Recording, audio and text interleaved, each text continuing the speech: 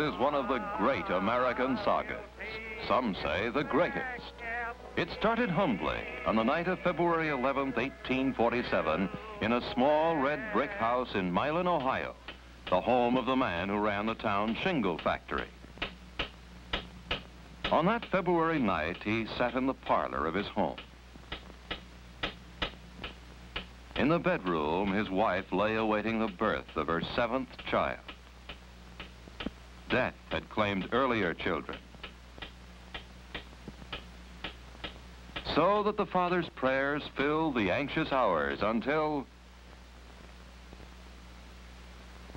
the father inscribed the name of a healthy, husky boy in the family Bible. Humble beginnings, but not poor. The Edison children were reared on good food and the good book. They were all good, hard, common sense kids, said the neighbors, except for young Tom. They called him the curious boy, meaning he had too much curiosity about things. When he was five, they found him sitting on some duck eggs to see if he could hatch them. It was possibly his first experiment. It was not successful. When the family moved to Port Huron, Michigan, the curious boy started school. He exasperated his teacher. The boy is backward, the teacher complained. All he does is ask questions. Nonsense, said the boy's mother. I'll teach you myself. And she did. Her method was reading, writing, and arithmetic. And then she simply encouraged him to read, read, read. The more he read, the more his curiosity grew.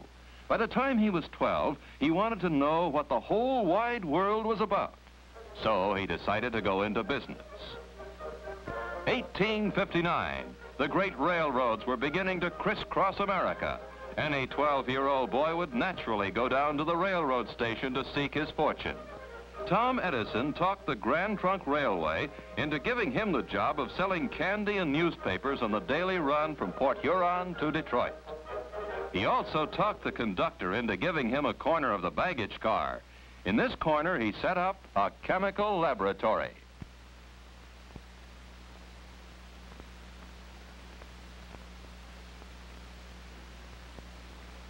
His curiosity didn't stop at chemistry. He got interested in printing when he was 14. So he set up his own printing press and started the first newspaper ever published on a railroad train, anytime, anywhere. The Weekly Herald, published by A for Al, as he was called, Edison, was only a single sheet affair, but he crammed it with general information and gossip.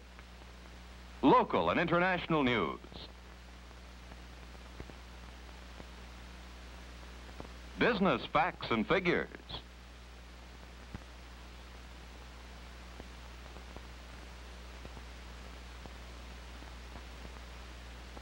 Vital statistics, philosophy, reason, justice, and equity never had weight enough on the face of the earth to govern the councils of men. But at the height of his success as chemist, candy butcher, publisher, philosopher, two accidents occurred. First, he became partially deaf. Deafness drove me to reading. My refuge was the Detroit Public Library. I didn't read a few books. I read the library. And he learned how to operate a telegraph ticker.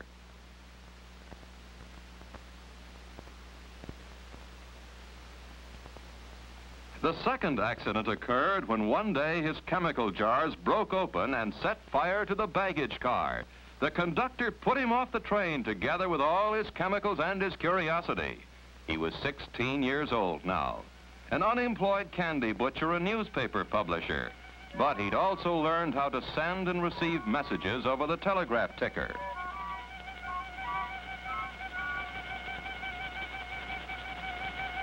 In 1864, he became a wandering telegraph operator. The fastest operator that ever came down the pike. Also the most restless. Couldn't stay in one place for long. For four years, he ticked his way across the country. A kind of long-haired hobo, always tinkering with wires and things, but gathering no moss, making no money. No matter what I may do, I reap nothing but trouble and the blues. It is all I can do to keep the wolf from the door. But he was working harder than he was worrying, and he invented the Universal Stock Ticker, his first major invention. Western Union paid him $40,000 for it. He took the money and invested in a dream. All during the hobo years, he had dreamed of building a laboratory. And finally, in 1876, he settled in the little town of Menlo Park, New Jersey. To his home there, he took his young bride, Mary Stillwell Edison. Close by the house, the main laboratory building was connected to the outside world by telegraph wires.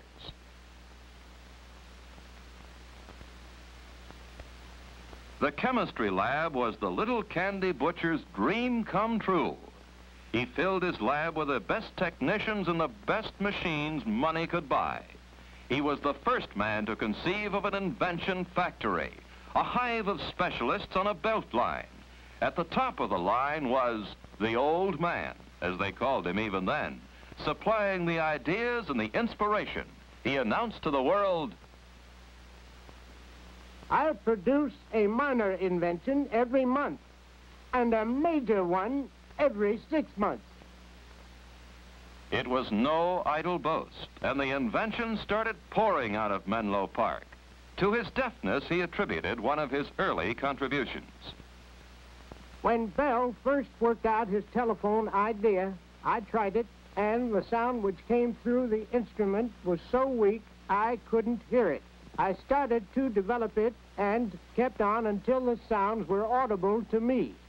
My improvement, the carbon transmitter, made the telephone possible.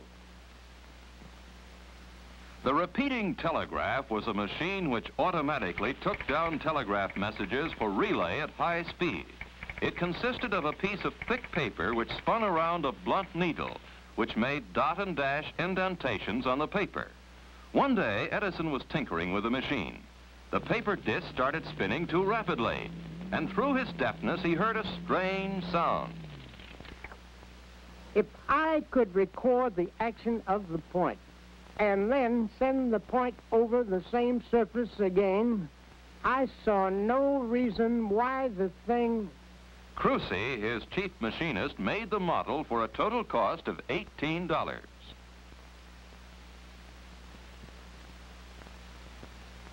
A group of assistants gathered around the old man's desk. None of them knew what the fantastic-looking thing was supposed to do. They stood silently while Edison took a piece of tinfoil, inserted a mouthpiece on the contraption, and then, to everyone's astonishment, started reciting these momentous words. Mary had a little lamb. Its fleece was white as snow and everywhere that Mary went, the lamb was sure to go. I made a bet of 15 cigars that the machine would talk back to me.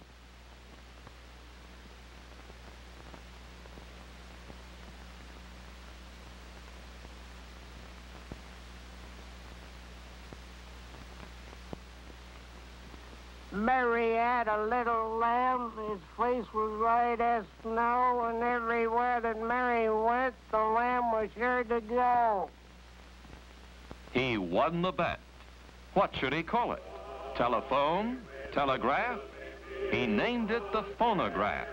It became the sensation of the day and age. The 31-year-old inventor was invited to the White House to demonstrate his machine for President Hayes. Never in the whole history of science and invention had there been anything like this, a machine that talked, and the world clamored to listen to it. In restaurants and saloons and penny arcades, the first jukeboxes were installed.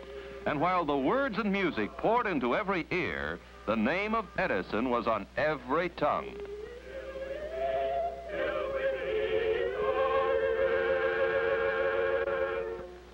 A philosopher of the time said it was the era of the nickel in the slot machine.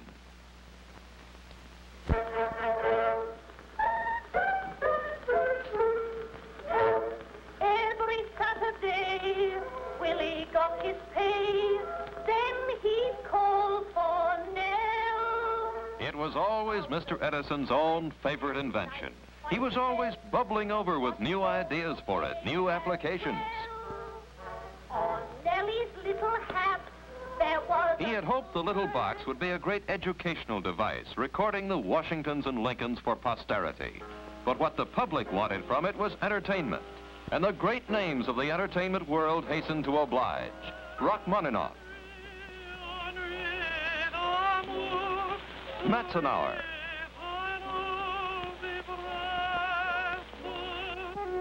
Albert Spalding,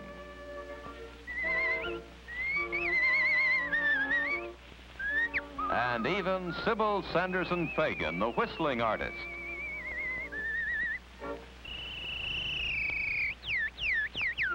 And as the years went by, they trooped in and out of Edison's recording rooms. The opera singers and the banjo players and the bird imitators and the tellers of jokes. And the records poured forth, hundreds of them, thousands, hundreds of thousands. From the needle that scratched the tinfoil, a million dollar industry was born.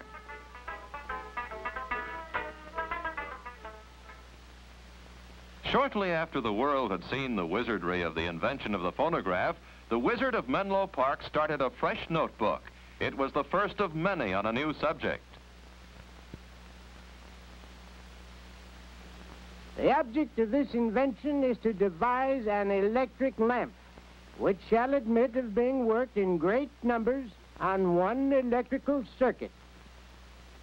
The invention of the phonograph had been all Edison, but when he turned his luminous curiosity on the problem of making an electric light, he was moving into a field where many others were working.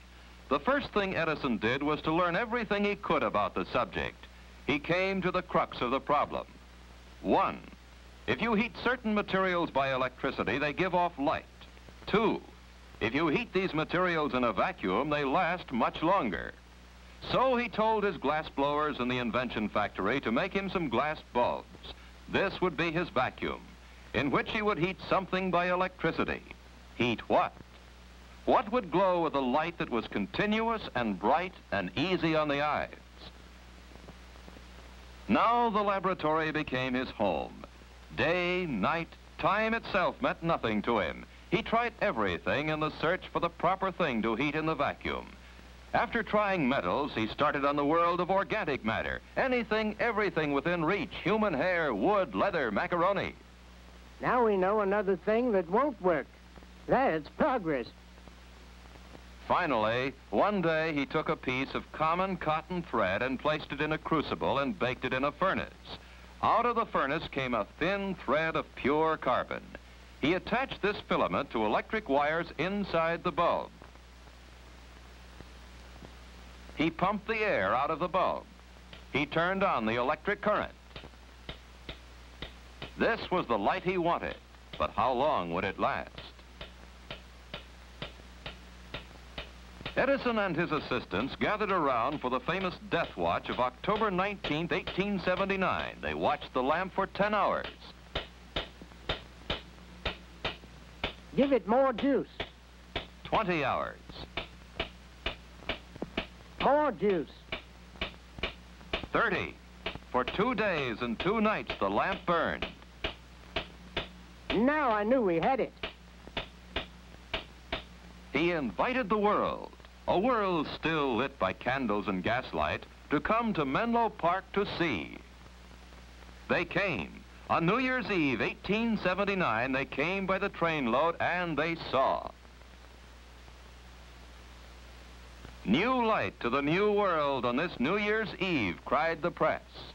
The newspapers called it the miracle of the 19th century. Lighting up Menlo Park was only a stunt for New Year's Eve.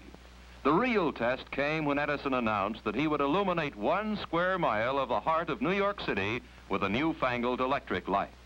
The bulb, the miracle bulb that gave the miraculous light, was only the beginning, the end component of a thousand component parts. You need rheostats and generators and meters and fuses and sockets and switches and conductors to make it work.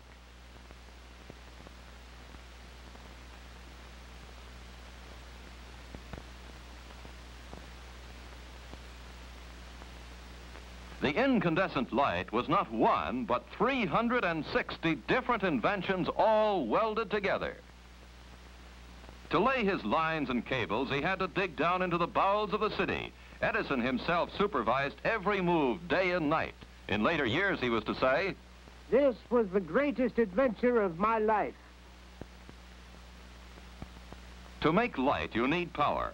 He took a building on Pearl Street in lower Manhattan and turned it into the first power plant for electric light in the United States. It started with coal furnaces in the basement. The coal made steam.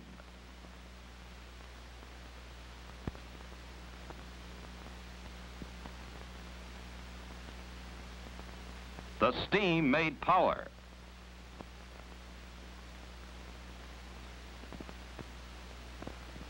The power turned the generators.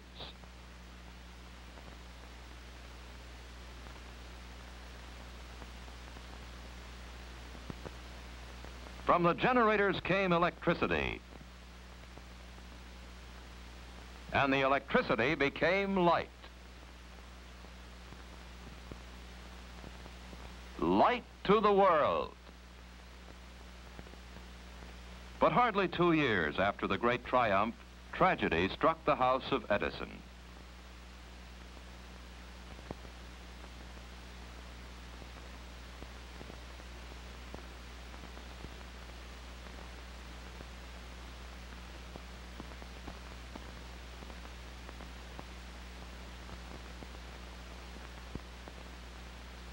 He tried to lose himself in work, but to the great giver of light, Menlo Park was full of shadows now. He had to move away, away from the place where he had lived for eight happy years. Two years after Mary Edison died, he found a haven in West Orange, New Jersey, in the lordly house called Glenmont. In the year 1886, he was 39 years old when he married Mina Miller, herself the daughter of an inventor.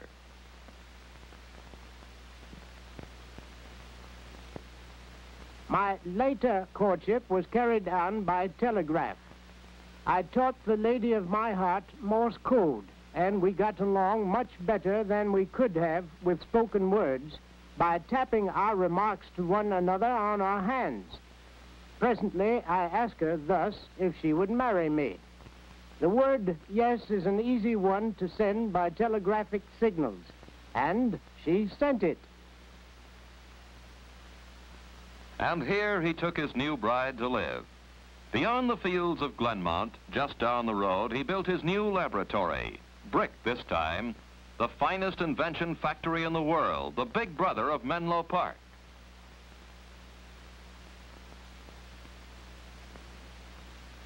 The nerve center of the compound was the old man's roll-top desk in an office that was two stories high, crammed with 10,000 scientific volumes. It was his combination office, laboratory, studio, library, and bedroom. On a small cot, he took his famous cat naps.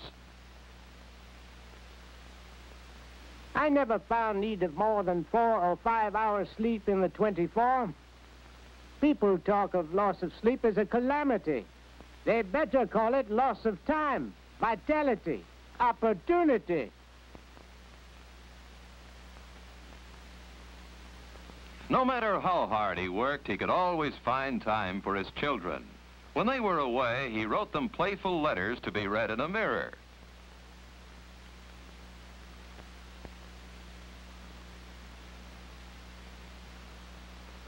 On one of their toys, the wheel of light now caught his fancy.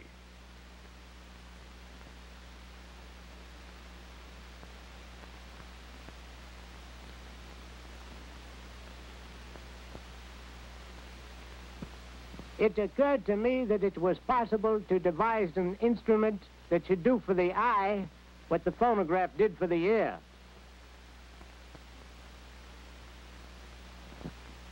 His first idea was to put a continuous line of tiny photographs on a cylindrical shell, just like a photograph record, then to rotate the shell and let the eyes look at the photographs through a magnifying glass. It didn't work well enough to suit Edison. Then he thought, if he could put a long line of photographs on some sort of strip or tape, on something you could roll up.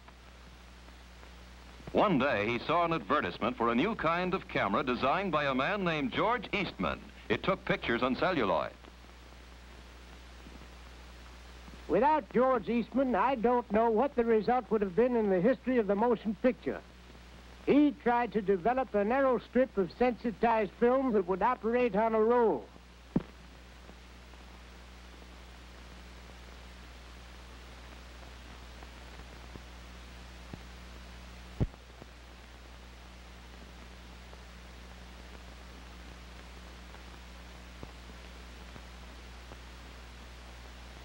Observe, says the legend, that each picture has a slight change of position as it passes the point of vision. The rapid photograph of these different stages of movement upon a long strip of light-sensitive film creates the illusionary spectacle of movable figures.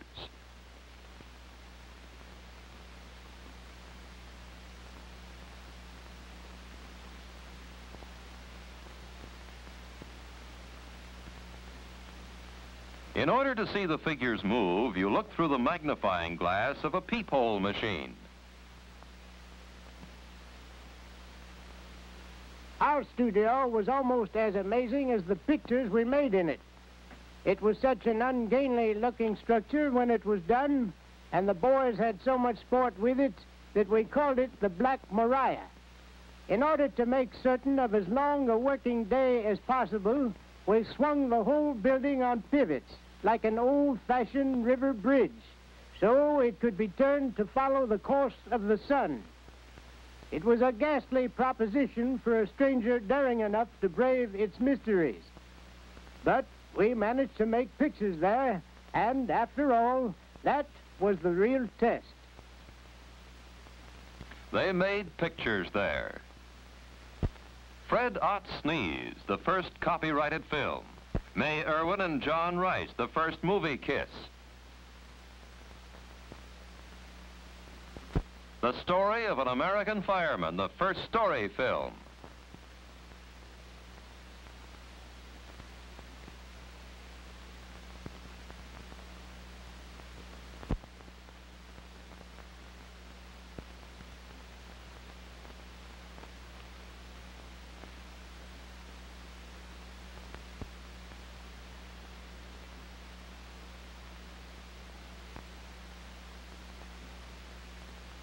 Did you know that one of my first thoughts for the motion picture was to combine it with the phonograph? My plan was to synchronize the camera and phonograph so as to record sounds when the pictures were made and reproduce the two in harmony. Talking pictures.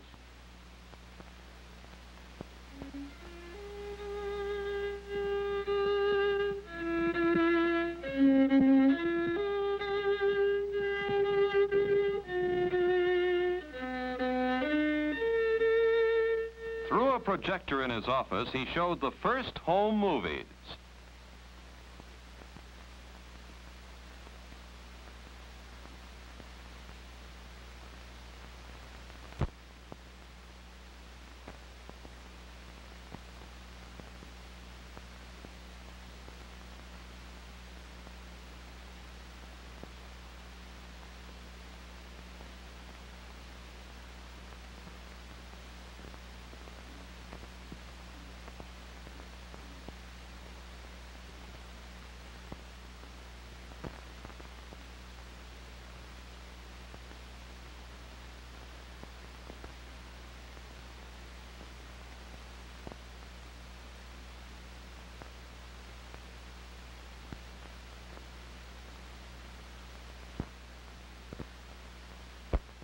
The camera followed on one of his camping trips with his good friends Henry Ford, Harvey Firestone, and the naturalist John Burroughs.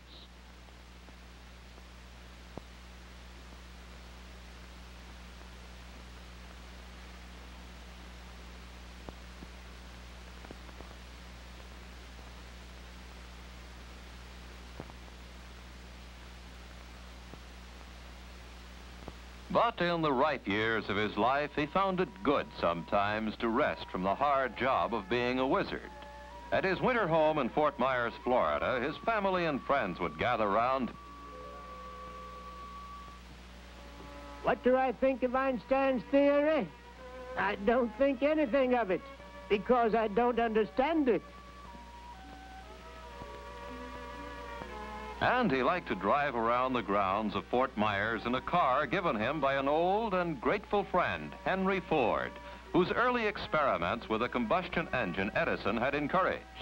And he liked to sit and look at nature.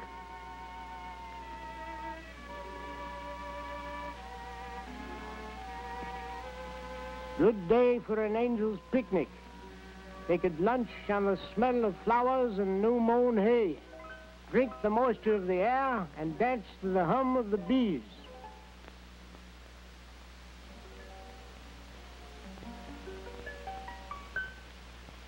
But even in Fort Myers, he couldn't sit still for very long. Close by his home, he built a small laboratory. His friends Ford and Firestone had presented him with a great challenge. Could he find a domestic source of natural rubber?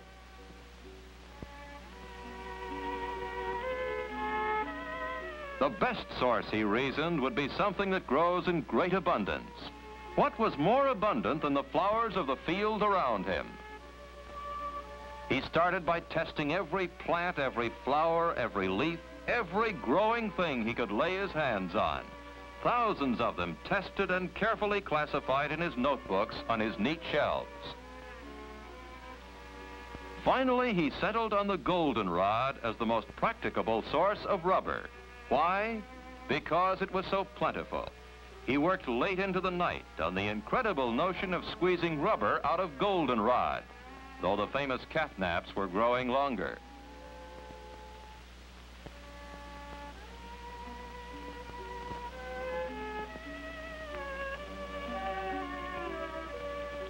He didn't give up until, out of the lowly goldenrod, he actually produced his last legacy to humanity. His desk at the West Orange Laboratory is as he left it, crammed full of innumerable projects, improvements on the old inventions, plans for many, many new inventions, telephone, telegraph, dynamo. He had taken out the incredible number of 1,097 patents in his 84 years of life, and still he could envision with youthful fervor